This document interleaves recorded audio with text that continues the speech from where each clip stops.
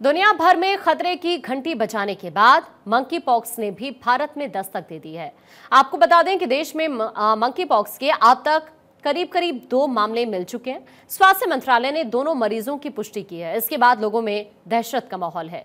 स्वास्थ्य मंत्रालय ने इन शख्स की कॉन्टैक्ट ट्रेसिंग भी शुरू कर दी है ताकि ये पताया पता लगाया जा सके कि इस मरीज़ के संपर्क में कितने और कौन कौन से लोग अभी तक आ चुके हैं।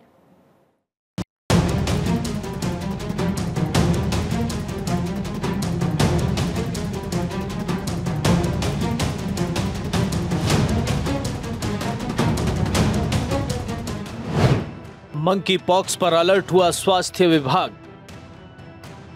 सभी राज्यों में जारी की कोरोना जैसी गाइडलाइन कहा मामले पर नज़र, अनावश्यक डर फैलाने से बचें।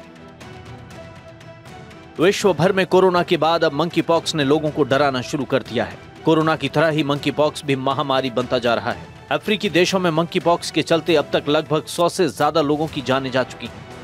वहीं अब तक अफ्रीकी देशों तक सीमित ये वायरस अब बाहर भी फैल गया है। अफ्रीका से बाहर पाकिस्तान के बाद अब भारत में भी इसके दो मरीज़ मिले हैं। स्वास्थ्य मंत्रालय ने दोनों मरीजों की पुष्टि की है। मंकी पॉक्स को लेकर हाल ही में स्वास्थ्य महकमा अलर्ट हुआ है, जिसके साथ विभाग ने नई गाइडलाइन जारी की है। केंद्रीय स्वास्थ्य सचिव अपूर्व चंद्रा ने मंकी पॉक्स के खतरे को लेकर सभी राज्यों और केंद्र शासित प्रदेशों को एडवाइजरी जारी की है।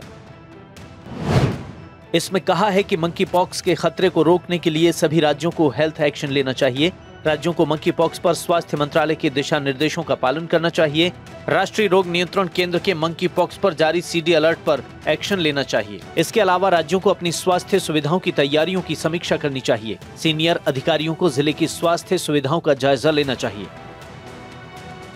मंकी पॉक्स चेचक जैसी एक वायरल बीमारी है, आमतौर पर इस वायरस से संक्रमण से ज़्यादा दुष्प्रभाव नहीं होते हैं। लेकिन कुछ मामलों में ये घातक हो सकता है। इसके चलते फ्लू जैसे लक्षण दिखते हैं और शरीर पर मवाद से भरे घाव हो जाते हैं। ये virus orthopox virus genus family का ही मेंबर है, जो चेचक के लिए भी जिम्मेदार है। आइए आपको बताते हैं मंकी पॉक्स के शुरुआती लक्षण क्या है। लिम्फ नोड्स में सूजन होती है, त्वचा पर लाल चकत्ते पड़ जाते हैं खरोंच जैसे निशान हो जाते हैं।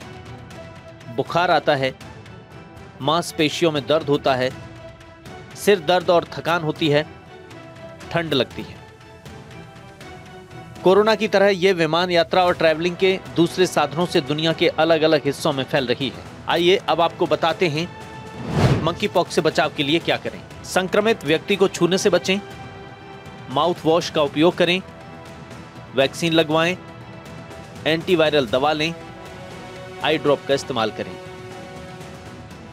विश्व स्वास्थ्य संगठन ने 14 अगस्त को मंकी पॉक्स को ग्लोबल पब्लिक हेल्थ इमरजेंसी घोषित किया था। भारत ने 20 अगस्त को देश के सभी पोर्ट एयरपोर्ट के साथ पाकिस्तान और बांग्लादेश से सटे बॉर्डर पर अलर्ट जारी किया था। ये दो साल में दूसरी बार है जब WHO ने मंकी पॉक्स को लेकर हेल्थ इमरजेंसी घोषित की है।